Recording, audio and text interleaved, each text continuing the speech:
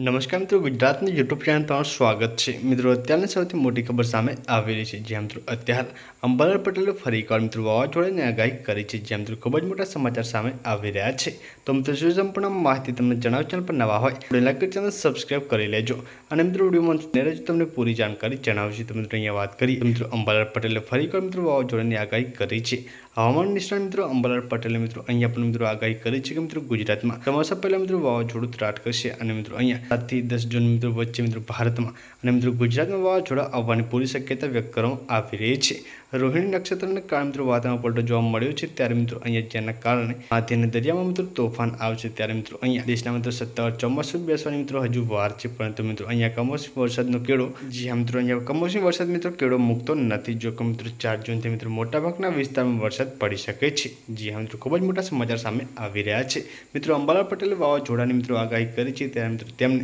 મિત્રો સાતથી દસ જૂનની વચ્ચે મિત્રો ગુજરાતમાં વાવાઝોડું આવવાની શક્યતાઓ વ્યક્ત કરી છે તો મિત્રો પલપલની અમૃત મળતી રહેશે એટલે ચેનલ સબસ્ક્રાઈબ કરી